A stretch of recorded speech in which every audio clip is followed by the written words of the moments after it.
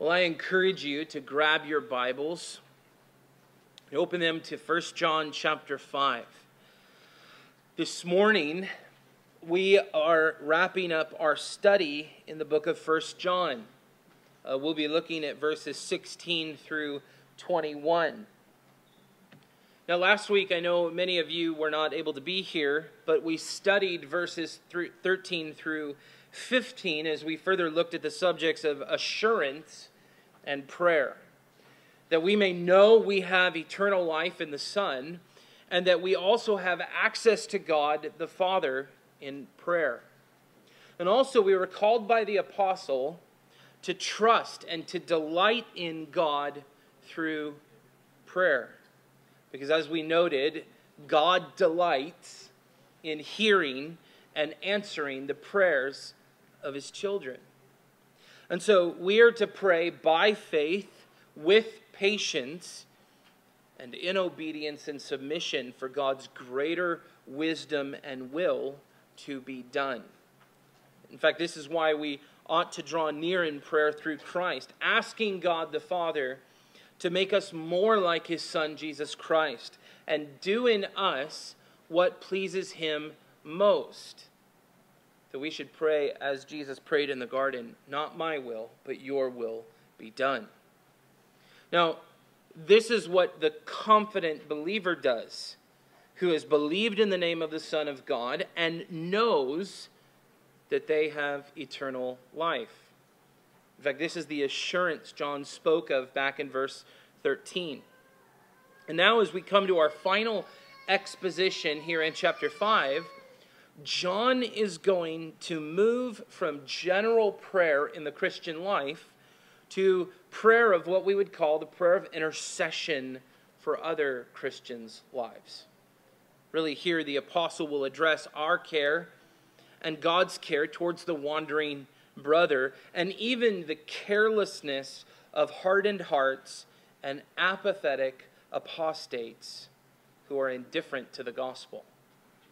And see, John will show us when it is necessary and when it is good to pray for our brothers and sisters who are wrestling and battling sin. And he'll also show us when it is not necessary to pray for those who are indifferent and hardened towards the message of the gospel. And so, this is what we're going to find in our outline as we read verses 16 through 21. And so hear the word of the Lord. If anyone sees his brother committing a sin not leading to death, he shall ask, and God will give him life. Forgive me. Back in verse 14. And this is the confidence that we have toward him that if we ask anything according to his will, he hears us. And if we know that he hears us in whatever we ask, we know that we have the requests that we have asked of him. If anyone sees his brother committing a sin not leading to death, he shall ask, and God will give him life to those who commit sins that do not lead to death. There is sin that leads to death. I do not say that one should pray for that. All wrongdoing is sin, but there is sin that does not lead to death. We know that everyone who has been born of God does not keep on sinning but he who was born of God protects him, and the evil one does not touch him. We know that we are from God, and the whole world lies in the power of the evil one. And we know that the Son of God has come and has given us understanding, so that we may know him who is true, and we are in him who is true, in his Son, Jesus Christ. He is the true God and eternal life. Little children, keep yourselves from idols. And praise be to God for his word. Now, it was not my intention to read a few extra verses and forgive my uh, forgetfulness there, but I think it's still helpful as we look at this subject of prayer at the beginning of our exposition. Uh, throughout our study in First John, the apostle has focused now on some key subjects. And this is not the entirety of what he is focused on, But we find first that something that has been dominant in his letter is our belief in the Lord Jesus Christ. Uh, Jesus' incarnation, that God took on flesh, that he was truly, Jesus was truly baptized in water, and he died physically on that cross where his blood was poured out for sinners like us. And the apostle had also focused on our obedience to God's commandments, uh, saying that if we abide, if we love, and if we know God, then that will show in our moral character and obedience. In fact, in chapter 3, verse 23, John said, And this is God's commandment, that we believe in the name of his Son, Jesus Christ, and love one another just as he has commanded us. In there, we find the simple summary love God and love one another. And so we're first to love God with all our heart and mind and strength and soul. This is the outcome of believing in the name of his Son, Jesus Christ. And secondly, we're also to love Christians. We're to love one another. We're to love the brethren, the believers here in this place, and also the entire body of Christ, just as he has commanded. And even one of the ways we love one another is through our prayers for one another. And so, as we come to these verses in our outline, John is giving us instructions for how we are to pray for a believer that is wrestling with sin and that is caught in sin. In verse 16 that we read, John says, If anyone sees his brother committing a sin not leading to death, he shall ask, and God will give him life. And one of the realities to the Christian life is that every single one of us still wrestles with sin. And no matter who you are or how far you've matured in the Christian faith, while you are here on earth, you are going to be affected by sin. You're going to struggle with it.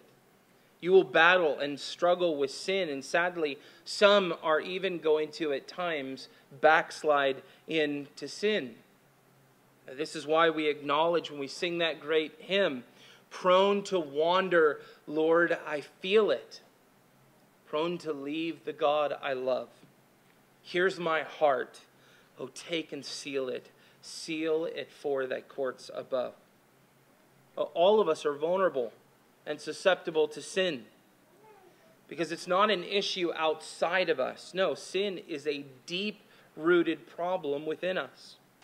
And no matter how much we think our sin only affects us, uh, our, our week, our, our moments, our, ours, ourselves individually, really sin affects the whole church. In fact, this is why in Galatians chapter 6, Paul begins by telling the whole church, Brothers, if anyone is caught in any transgression, you who are spiritual should restore him in a spirit of gentleness. And so that means the sin in my life and the sin in your life not only affects your relationship with God, but it also affects your relationship with one another. Because again, sin affects the whole church. This is why John is telling us what to do regarding a brother or sister who is committing a sin not leading to death. The apostle is calling for prayers of intercession, which here means praying for our fellow believers when they are losing the battle of temptation and sin. And so, this is one of the ways we're to deal with sin in the congregation. We're to pray. We're not to turn a blind eye to when we see others struggling or, or failing to walk in the way of the Lord. No, we're to pray. How often do you pray for the church, for the believers here? How often are the brothers and sisters' names and in your mouth and in your prayers? Again, remember, do not forget, as we learned last week, God delights in hearing and answering the prayers of his children. And so, John is telling us if a brother or sister in Christ is committing a sin not leading to death, we're to pray earnestly to the Lord, asking Him to restore the believer. Now, here, John speak, speaks of a sin that does not lead to death. And it's not specifically clear what sin does or does not lead to death. Many have uh, thought on certain things and said it's this or it's this. And so, even as we walk through the exposition, there may be parts where you disagree with the application. But here, what I believe the apostle Paul or apostle John is speaking of is sin that may be forgiven. John had told us about the seriousness of sin and the outcome of one who claims to not have it, the one who does not have it or who falls into it. In 1 John chapter 1, back in verse 8 through 10, in chapter 1, John had begun in the first chapter by saying, If we confess our sin, he is faithful and just to forgive us our sins and to cleanse us from all unrighteousness. In verse 10, if we say we have not sinned, we make him a liar, and his word is not in us. And so we ought to pray for our brothers in Christ that they would confess their sin and go to the one who cleanses us from all unrighteousness. Because, church, we need to remember. We need to remember the words of John back in chapter 2, verse 1, when he tells us, My little children, I'm writing these things to you so that you may not sin. But if anyone does sin, we have an advocate with the Father, Jesus Christ the righteous. Now, see, John expects that sin is going to be a struggle. It's going to be a reality among the people of God. But he also expects that we are going to fight it, that we're going to return to our advocate when we stumble in it. But still understand there are times, whether out of blindness or immaturity or stubbornness of our flesh, there are times we commit sins not leading to death, and we sadly remain in that state of sin. And so the apostle tells us that we need to pray for our brothers and sisters in Christ. John also tells us in verse 16, he shall ask, and God will give him life. Have you ever noticed that when you commit sins and you've lost to a particular struggle, it's like the life has almost been sucked out of you. Consumes your mind, it affects your body. This is one of the things that happens to believers. Sin so affects us that we feel the weight and the consequences of unrepentant sin. We feel the shame of it. Uh, David expresses this in Psalm 32. In verse 3 and 4, he says, For when I kept silent, my bones wasted away through my groaning all day long. For day and night your hand was heavy upon me. My strength was dried up as by the heat of summer. Many believers who have committed sin, not leading to death, have felt that depleting outcome. And certainly, as the psalmist mentions, our physical bodies feel the effect. Our mind is in a sense of torment when we are walking in unrepentant sin. So, the seriousness of the life that John is speaking of is eternal life. And so, we need to remember and we need to realize that our practices and our behaviors are an indicator of the health of our life. Uh, remember, our life is not our own. Uh, Paul tells us in Galatians 2:20, "I have been crucified with Christ. It is no longer I who live, but Christ who lives in me. And the life I now live in the flesh, I live by faith in the Son of God who loved me and gave himself for me." Our lives are to be marked by life in Christ. But when we commit sin, we're taking our eyes off the life giving source, which is Jesus Christ. And so John tells us when we pray for these brothers and sisters and ask God in his kindness and mercy to lead them to repentance, he will answer. And he will give them life. Now remember, at the same time, there are some who have the appearance of Christianity, but no life. They do not have saving grace in their heart. And in light of this issue, John tells us again at the end of verse 16 there is sin that leads to death. I do not say that one should pray for that. Now, here, the apostle doesn't seem to prohibit praying for this, but it does seem that this serious sin is past that point. That John is saying it is led to death. Uh, James chapter 5, verse 19 and 20 almost seems like a precursor to this. When James says, My brothers, if anyone among you wanders from the truth and someone brings him back, let him know that whoever brings back a sinner from his wandering will save his soul from death and will cover a multitude of sins. Now, when John speaks of the sin that leads to death, what is this sin? Well, again, some believe this refers to the blasphemy of the Holy Spirit as Jesus speaks of in Matthew 12 and Mark chapter 3. And others have said that this is a reference to a hardened refusal toward the message of the gospel, the truth of the gospel. And I think in looking closely at the letter of First John, I don't know that I would say it's either this or it's that. I actually think both are quite clearly in view. Again, in the immediate context of John's letter, it seems consistent that this sin that leads to death is in regards to a hardened opposition in heart and in mind. And so, sin that leads to death is seen in corrupt belief. The person absolutely rejects that Jesus is the Christ, the Son of God. Uh, understand, John had said back in verse 10 that whoever does not believe God has made him a liar, because he has not believed in the testimony that God is borne concerning his Son. And even back in chapter 2, in verse 22 and 23, the apostle states explicitly by asking, Who is the liar but he who denies that Jesus is the Christ? This is the Antichrist, he who denies the Father and the Son. No one who denies the Son has the Father. Whoever confesses the Son has the Father also.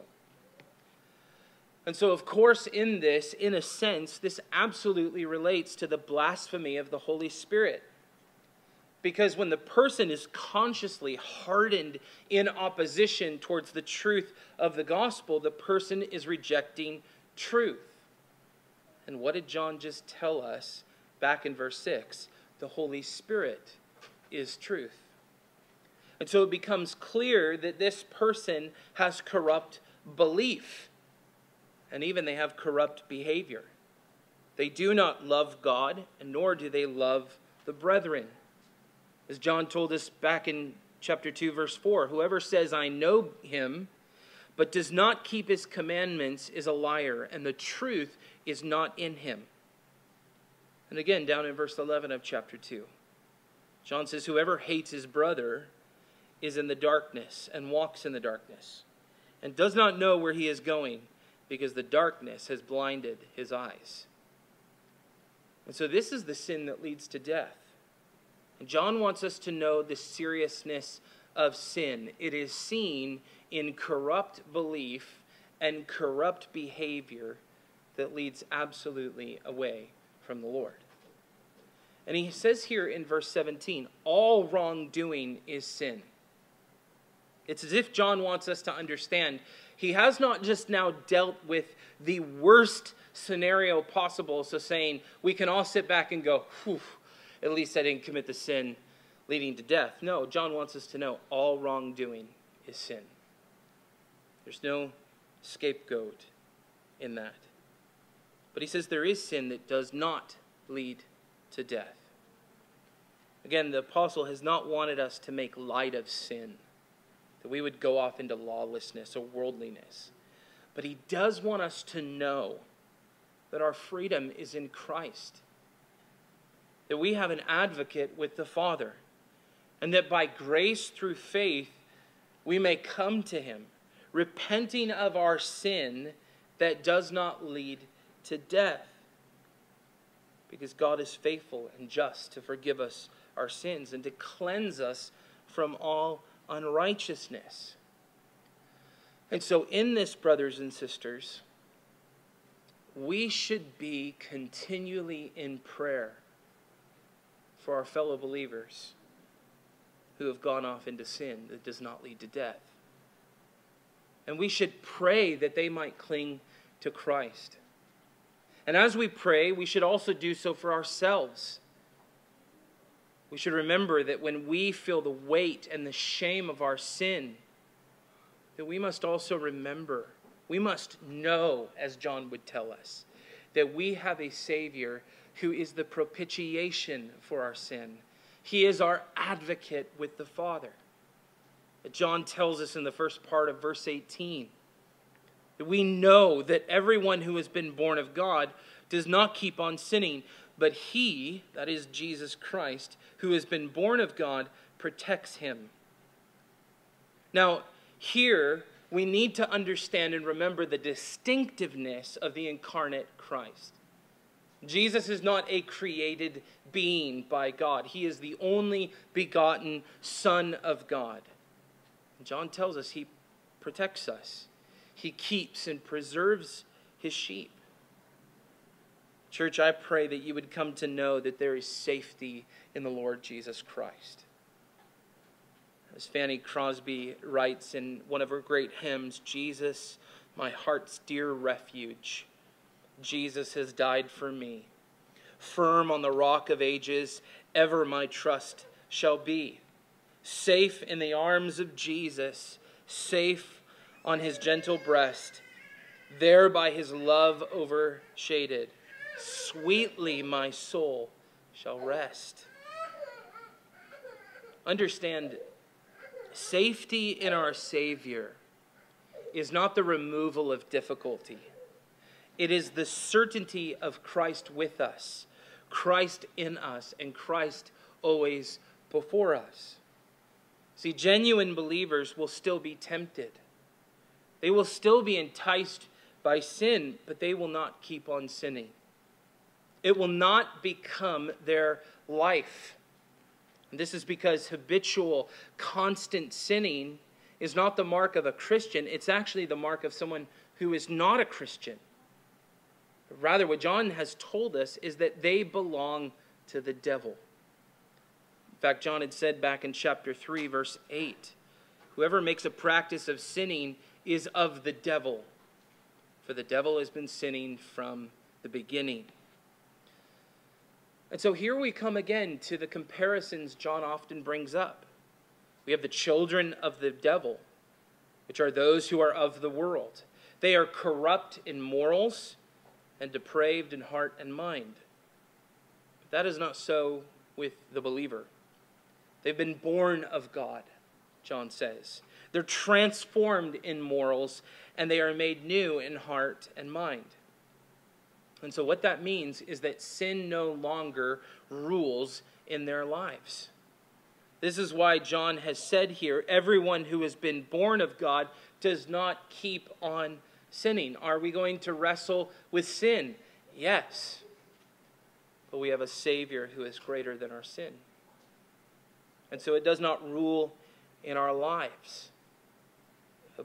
Paul helpfully outlines this in Romans 6 when he says in verses 11 through 13 You must consider yourselves dead to sin and alive to God in Christ Jesus.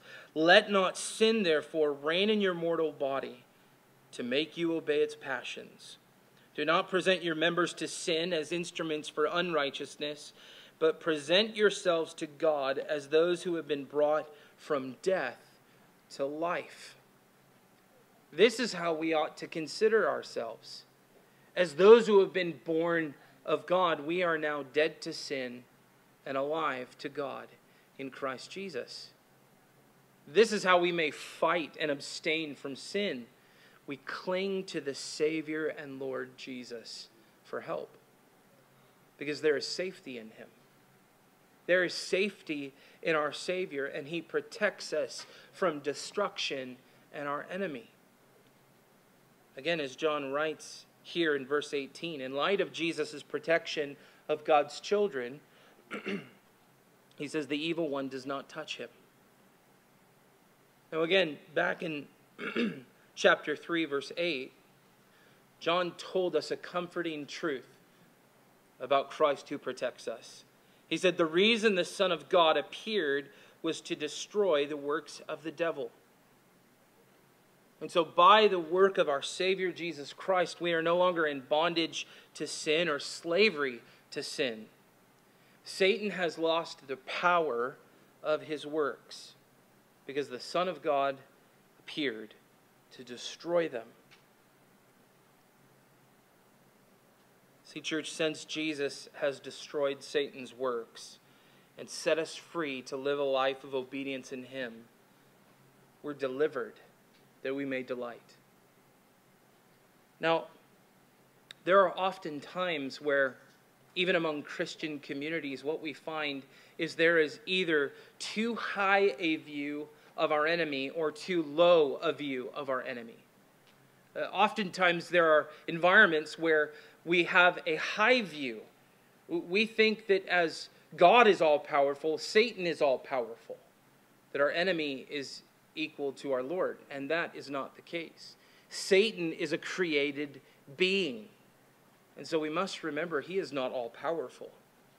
Yes, we find in the book of Job that there are permissions he is given from our sovereign God to bring certain harms, but John is reminding us Satan may not lead us to destruction. The evil one does not touch him. And so the enemy cannot touch us or remove us from our Savior. Uh, Jesus said of his sheep in John 10, verse 28, I give them eternal life, and they will never perish, and no one will snatch them out of my hand. What a great hope and security and safety we have in Jesus Christ that in light of all that he has done and all that he continues to do, the evil one does not touch those born of God. Now, again, do you remember what John had told the believers back in chapter 2? When he gave a short list of reasons he was writing, he had said to the young believers, those who were more likely immature, he said in verse 14, I write to you, young men, because you are strong. And the word of God abides in you, and you have overcome the evil one. You are strong in the Lord. God's word abides in you, and you have overcome the enemy. All of this is what we have by faith in Jesus Christ our Lord. He protects us, and therefore we have overcome both the world and our enemy. Remember, just a few weeks ago, we studied in verse 4 of chapter 5 here, where John said, Everyone who has been born of God overcomes the world. And this is the victory that has overcome the world our faith. Church, we have a very real enemy. And he doesn't need you to follow him or worship him. That's not his goal. He just doesn't want you to worship or obey God. In fact, Jesus said of our enemy in John 10 that the thief comes only to steal and kill and destroy. And so, if we want to fight sin and stand against the schemes of our great and terrible enemy, we must look upon our Savior. We must believe in and trust our Savior, remembering the victory that has been won in Him. We often sing that old hymn that gives us a profound application in spiritual warfare. When Satan tempts me to despair and tells me of the guilt within, upward I look and see him there who made an end to all my sin. Because the sinless Savior died, my sinful soul is counted free For God the just is satisfied to look on him and pardon me. This is part of our great assurance and confidence in the Christian life that in Christ we have spiritual life and we are protected. And so, even in the following verse here, John returns to his focus on Christian assurance. He wants us to know, he says in verse 19, that we are from God. Now, how do we know? How can we know? Well, we know because only those who have Christ have this protection and care.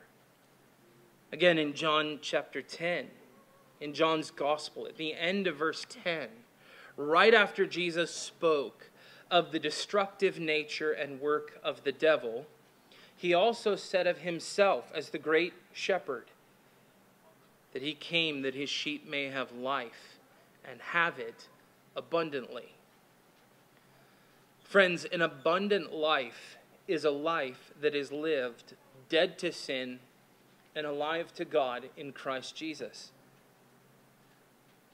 But a life that is lived in the clutches of the evil one is a life that is filled with theft and death and destruction.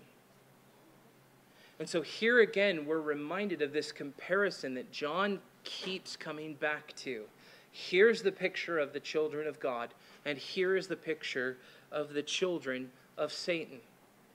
And in that, we're reminded there is no middle ground, there's no neutrality, there's no alternative opinion.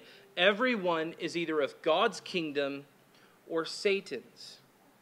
Paul reminded us in Colossians 1:13 that the Father has delivered us from the domain of darkness, from that kingdom, and transferred us to the kingdom of his beloved Son. And so this is why John shows us this important comparison between those who are of God and those who are of the devil. In fact, in the end of verse 19, John shows the reality of Satan's kingdom. He says, The whole world lies in the power of the evil one. Now, not to overdo the point, but when John says the whole world lies in the power of the evil one, it doesn't mean simply that he just has it and he's gripping onto it. Satan's grip is tight. He's fighting for the battle, but he's won the, or lost the war. And yet, the word John uses here, that the whole world lies in the power of the evil one, is a word the scriptures often use when speaking of, of a babe with its mother. It's nestled there. It's where it finds safety and comfort. And so, what John is saying is it's not just that Satan is holding on tightly and gripping them, it's where they long to lie. It's where non believers are comforted in, in the power of the evil one. Again, this is a very stark contrast to those who are of God. And so, since the corrupt world is under the rule of the devil, we must avoid the corruption of the world. Back in chapter 2, John had warned us about the lures and the sinful practices of this world. Uh, turn back to chapter 2, and we'll look at verses 15 through 17 together.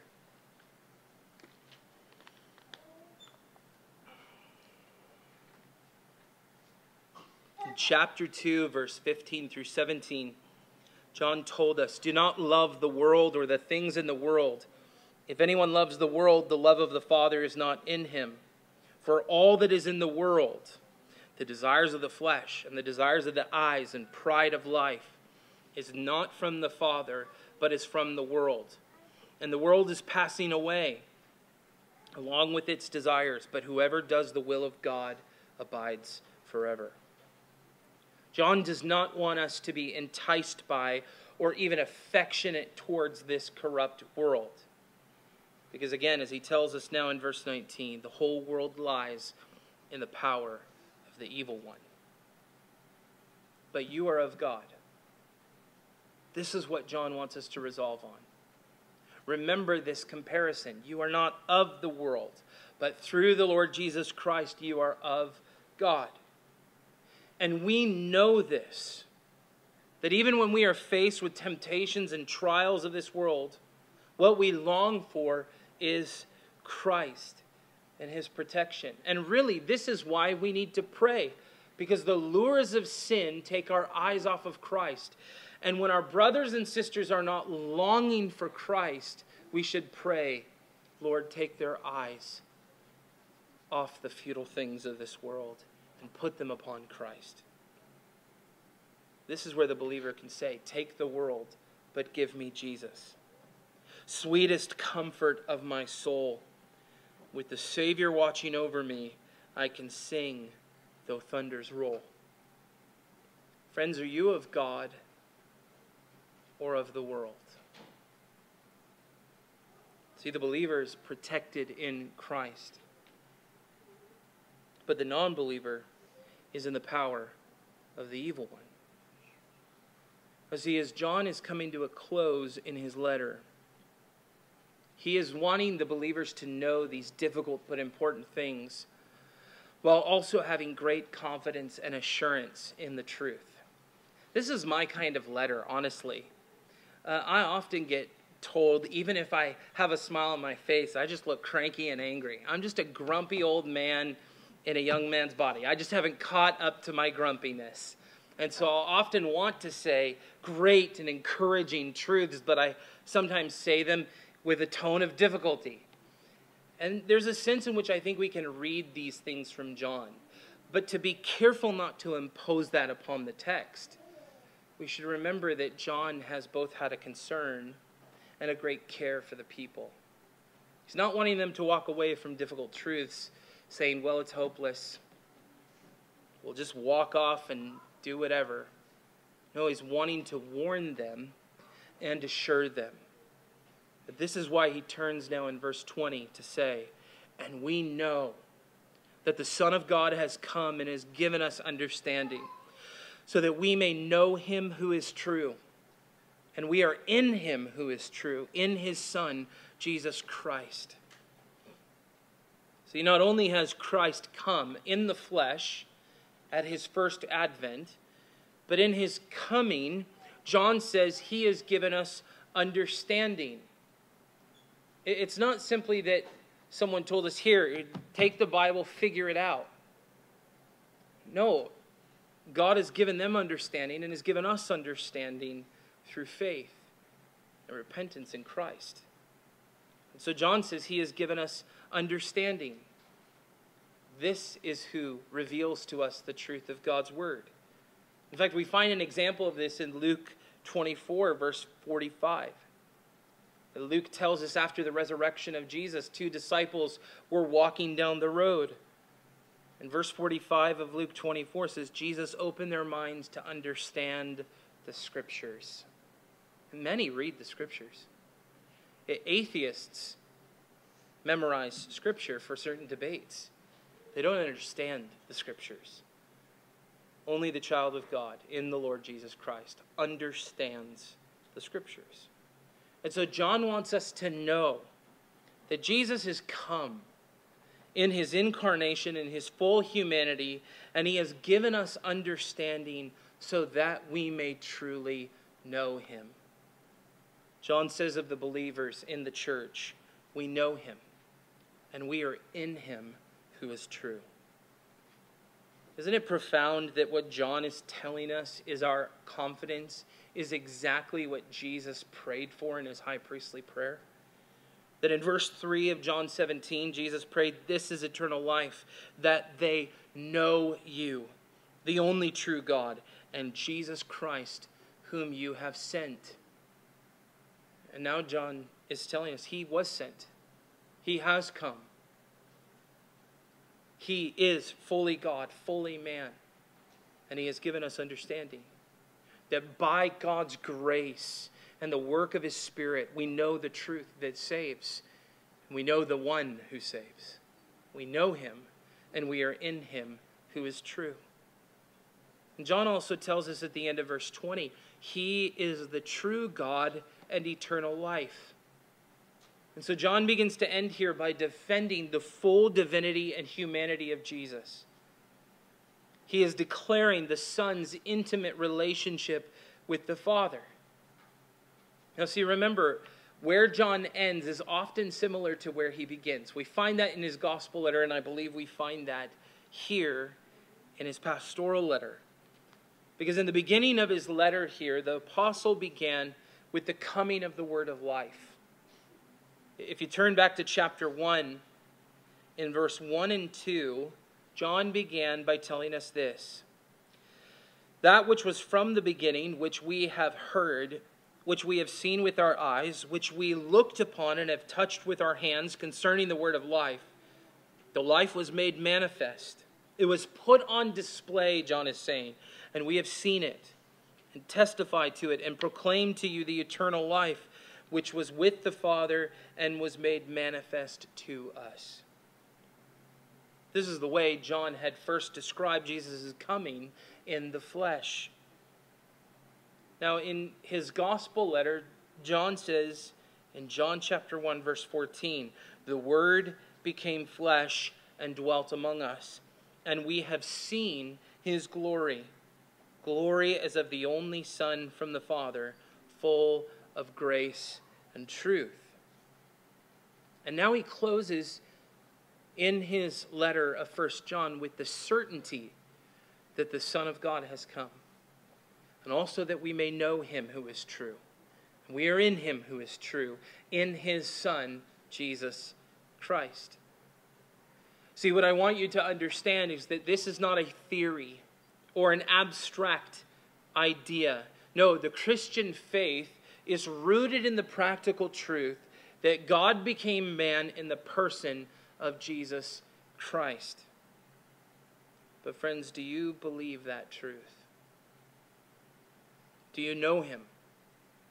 And are you in him? See, the apostle here is encouraging genuine believers that Jesus is God, the second person of the Trinity. He is the true God and eternal life. And so, while it may sound over dramatic to some, this is really a matter of life and death. Do you believe that truth? John is saying this is how you know that you are of God, that you are born of God. You know him who is true, and you are in him who is true. See, friends, there are many who believe in a Jesus with a lowercase j. He neither saves, nor does he come in any advent, and he neither protects nor does he have any power to overcome. They believe in a Jesus of their own making. And this, I believe, is the reason why the apostle concludes in verse 21 by saying, Little children, keep yourselves from idols. Now, idolatry is not a very popular conversation. You don't often hear people talk about it. In fact, our world makes light of it one of the most popular singing and music shows is American Idol. People tune in and find who can we particularly idolize the most. And so our world is filled with idolatry. And it's not often understood in the church.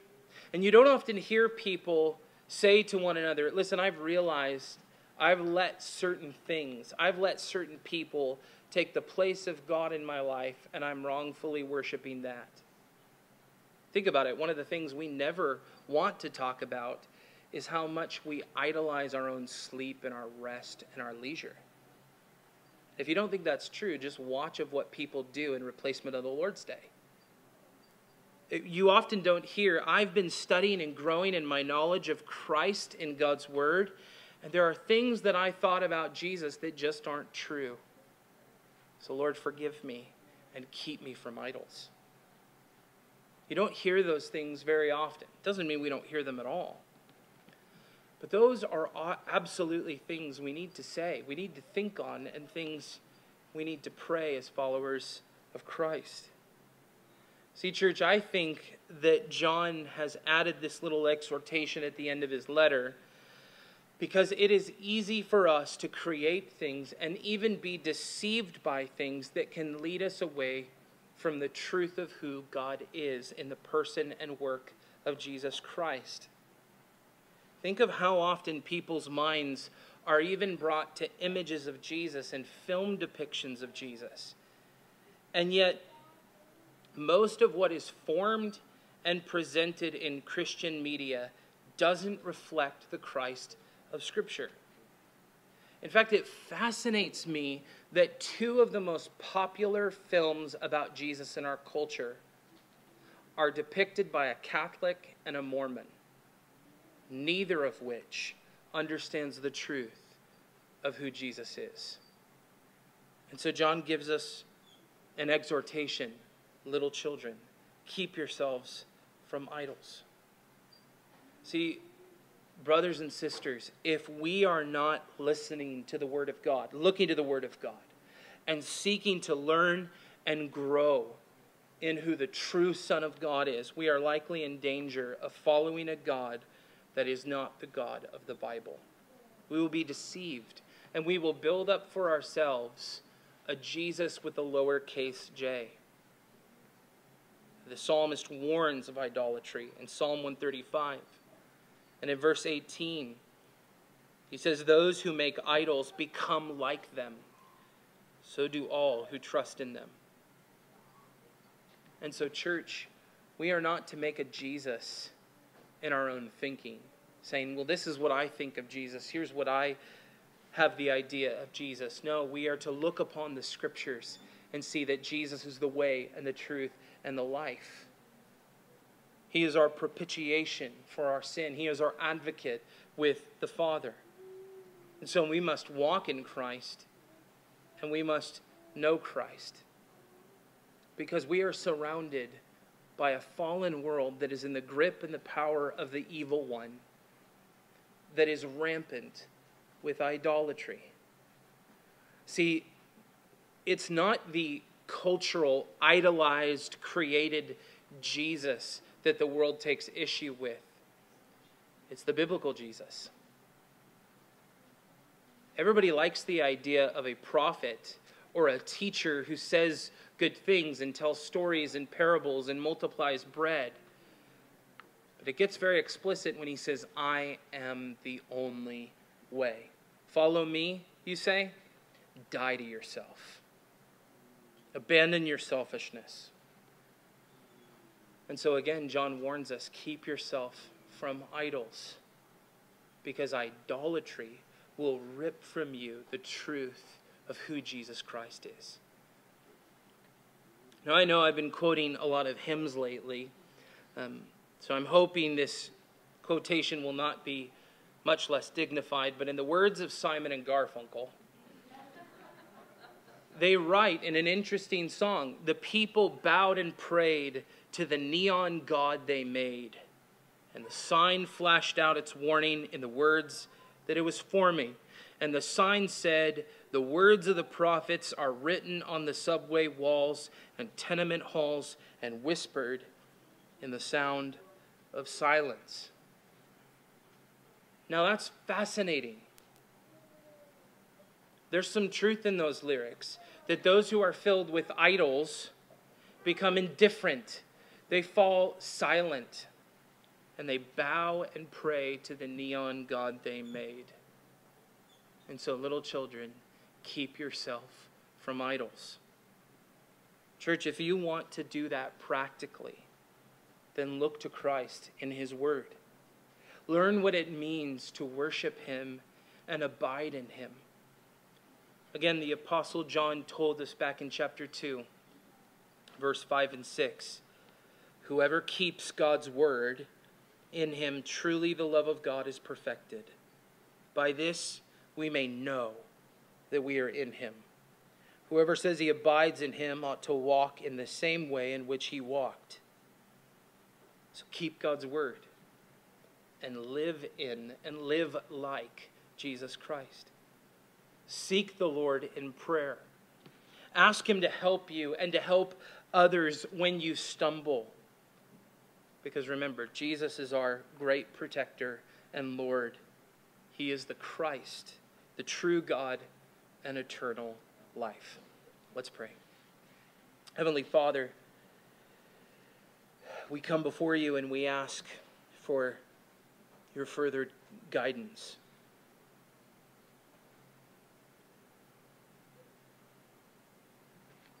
Lord, we thank you that you have given us understanding in your word.